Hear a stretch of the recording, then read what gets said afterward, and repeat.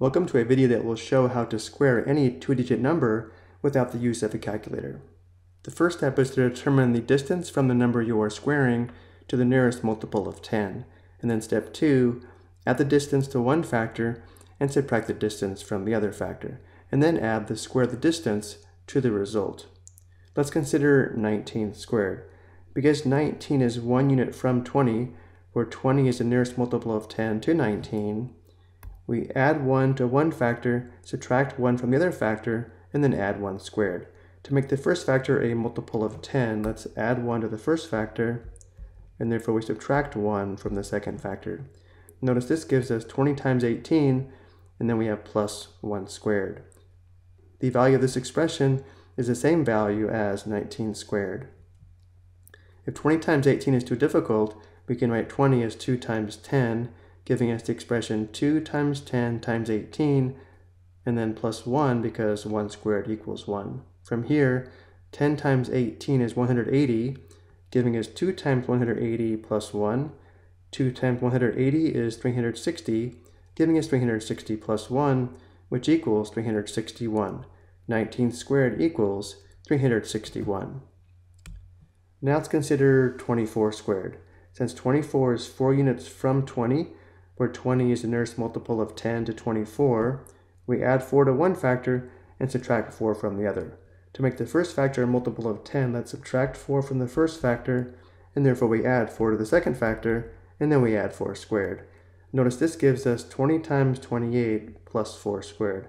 The value of this expression is the same value as 24 squared. If this product is too difficult, we can write 20 as 2 times 10, which gives us 2 times 10 times 28 plus 16, because 4 squared equals 16. From here, 10 times 28 is 280, giving us 2 times 280 plus 16. 2 times 280 is 560, giving us 560 plus 16, which equals 576. 24 squared equals 576. Let's take a look at two more examples. Let's consider 32 squared.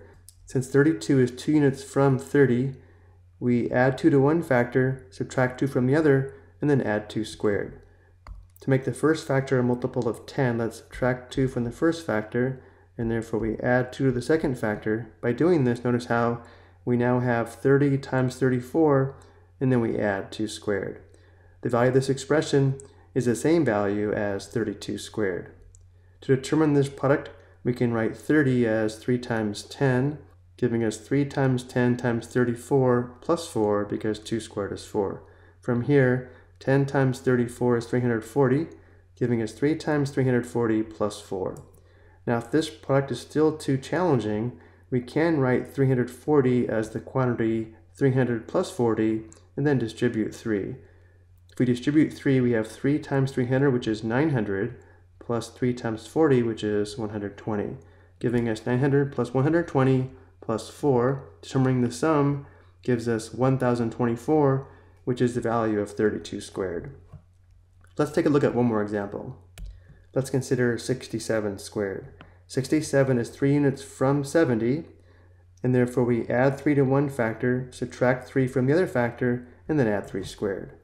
To make the first factor a multiple of 10, let's add 3 to the first factor and subtract 3 from the second factor.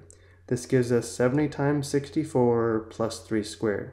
From here we can write 70 as 7 times 10 and 3 squared is 9.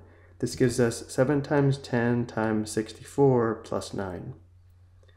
10 times 64 is 640, giving us 7 times 640 plus 9. For this product, we can write 640 as the quantity 600 plus 40, and then distribute 7. 7 times 600 is 4,200. 7 times 40 is 280. And then we still have plus 9. Determining the sum, we have 4,489, which is 67 squared. I hope you found this helpful.